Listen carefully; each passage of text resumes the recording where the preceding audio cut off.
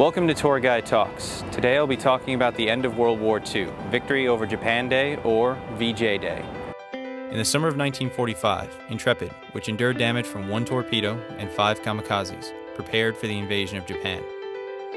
At 1100 hours, on August 15th, the crew received word to cease offensive operations against Japanese forces.